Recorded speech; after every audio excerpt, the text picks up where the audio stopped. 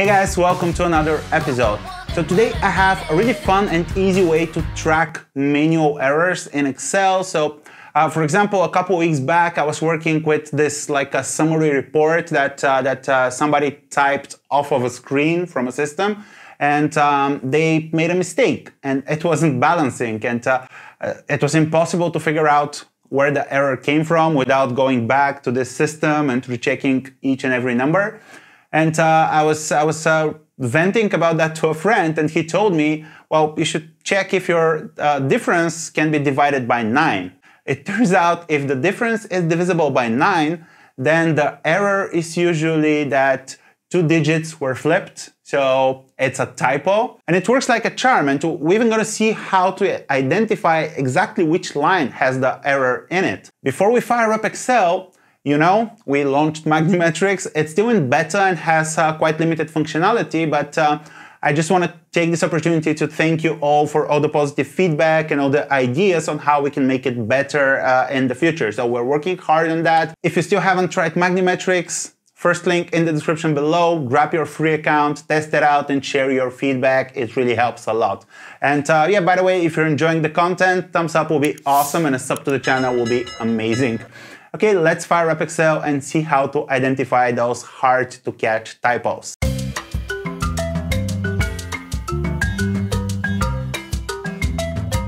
Here in Excel, I have this like a summary balance sheet and you can see that it's not balancing. And uh, based on what my friend told me, just go ahead and divide this by 9 and I get an even number. Uh, this would mean that two digits were flipped when this was uh, prepared sometimes it's quite easy to just look like a like a system printout or something like that and compare numbers. But sometimes each of those numbers would come from a separate breakdown that has a lot of numbers in it, and uh, at sometimes the the typo might be buried really deep. So this is an easy way to figure out that it's uh, a typo replacing two digits. And uh, if you go a bit further. Uh, that's, that's the extent of what my friend told me, and it turned out to be exactly that.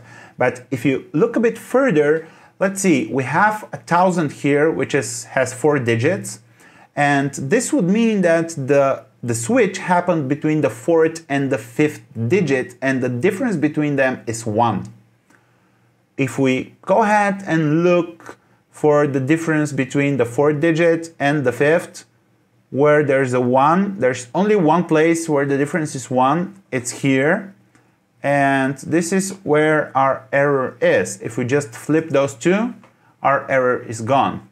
And this works pretty much every time. So let's look at a few more examples. So here we have a difference of 8100 divided over 9, get to 900. And this would mean that the switch happened between the third and the fourth digit. Let's go ahead and see where we have third and fourth digit with a difference of 9 between them. And I've bolded it, but that's, that's the only place where you get that. And uh, given most of the times, it, it, it may be like two places or three places where you have the same difference, but uh, it would still be much easier to, to use this method and it would narrow down your search. So if I go here and if I replace the third and fourth digit, 09 with 90, that's it, the difference is gone. Here, same thing, two digits, so the second and the third difference of five. I only have one place where that's the case, second and third difference of five, and it's done. And here it's the first and second digit, and the difference is three, which is again only here. Replace those two and we're done. Really simple, really easy. It won't solve all your problems, but it would definitely narrow down your search, especially when you're working with data that relies heavily on manual input. That's all for today, guys. I hope it was helpful. And uh, thank you for watching. Uh, don't forget to try Magnimetrics. First link in the description below. And uh, yep, Give this video a thumbs up if you enjoyed it. Also, don't forget to subscribe if you're not already, and maybe even punch the bell icon to receive notifications every time I upload a new video. Till then, thanks for watching and uh, catch you in the next one. How you can find uh, and um, yeah, I'm even like a charm. So I first link in the description below. In the first link, Thank you for watching.